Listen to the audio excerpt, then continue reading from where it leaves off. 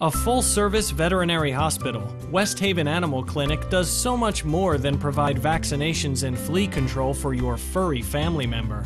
Dr. Padilla and our compassionate professional team offers spay and neuter procedures, general surgery, animal dentistry, boarding facilities, professional grooming, and more.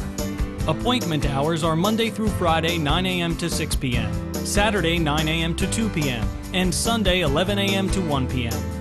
We have comfortable boarding facilities for when you're out of town and can't take Fido or Fluffy with you.